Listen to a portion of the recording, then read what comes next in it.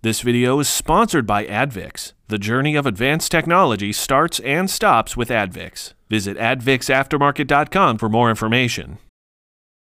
Got a call from one of my readers who's trying to diagnose a vibration problem in the rear end of a vehicle. He had just done the brakes, and also the tires have been replaced 15,000 miles ago. He tried balancing the wheels. They came out just fine. Then he was wondering, hmm, can I balance a brake rotor?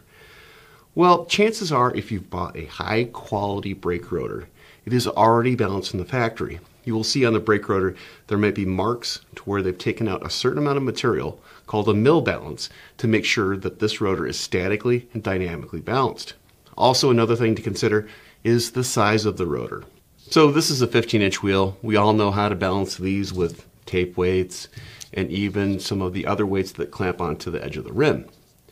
This is a 13 inch rotor, but it's a little bit different. When this is balanced at the factory, it's done both for static and dynamic, and it removes weight from the rotor. They're not adding weight to the rotor. Some less quality rotor manufacturers, they will actually add weight by stuffing in lead into some of the pockets. And in some cases, that lead weight can come out and cause an imbalanced rotor. But if you're purchasing a high quality rotor, you're going to see the mill balances or no mill balance at all because it's properly cast.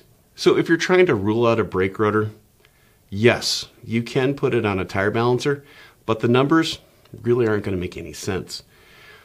But just make sure that you're using a high quality rotor, and this reduces the possibilities of having any vibration or noise problems from the brake system.